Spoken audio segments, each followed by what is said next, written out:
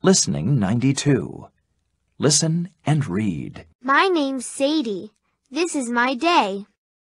My day. In the morning, I get up at 7 o'clock. I have breakfast, cereal, bread, and milk. Then I go to school at 8 o'clock. I go to school by bus.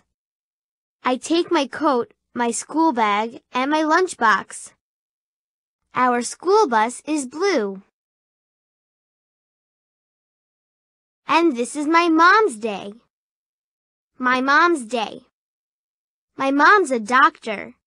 She starts work at six o'clock, so I don't see her in the morning.